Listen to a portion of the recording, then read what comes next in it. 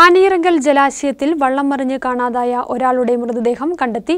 നിരപ്പേൽ ഗോപിയുടെ മൃതദേഹമാണ് ജലാശയത്തിൽ നിന്നും കണ്ടെത്തിയത്. തിരച്ചിൽ നടത്തി വന്നിരുന്നതിന് സമീപത്തായിട്ടാണ് മൃതദേഹം പൊങ്ങിയത്. കൊച്ചിയിൽ നിന്നും നേവിയുടെ സംഘം ഇന്ന് എത്തിച്ചേരും. പാറയ്ക്കൽ സജീവനെ കണ്ടെത്തുവാനുള്ള തിരച്ചിൽ പുനരാരംഭിക്കും. ഇന്നലെ രാത്രി തനിയെ പൊങ്ങി വരികയാണ് ഉണ്ടായത്. ഇനിയിപ്പോൾ സജീവന്റെ ബോഡി ലഭിക്കാനുണ്ട്. നേവി ഏതാനും ചുരുങ്ങിയ സമയത്തിനകം എത്തിച്ചേരും. നേവിയോട് കൂടി സഹായത്തോടു കൂടി. ഇപ്പോൾ സ്കൂബിയുടെ തന്നെ മൂന്ന് ടീമുകൾ ഇവിടെ എത്തിയിട്ടുണ്ട്. അവർ ഇപ്പോൾ തന്നെ അത് ബോഡി തെരച്ചിലുമായി ഇറങ്ങുകയാണ്. അതോടൊപ്പം തന്നെ നേവിയുടെ ടീം ഏതാനും ചുരുങ്ങിയ സമയത്തിനുള്ളിൽ എത്തിച്ചേരും. നേവിയുടെ അങ്ങയുടെ സഹായത്തോടു കൂടിയിട്ട് ഇന്ന് ഉച്ചയ്ക്ക് മുമ്പ് തന്നെ സജീവന്റെ ബോഡി കൂടി കണ്ടെത്താൻ കഴിയും എന്നാണ് ഞങ്ങൾ പ്രതീക്ഷിക്കുന്നത്.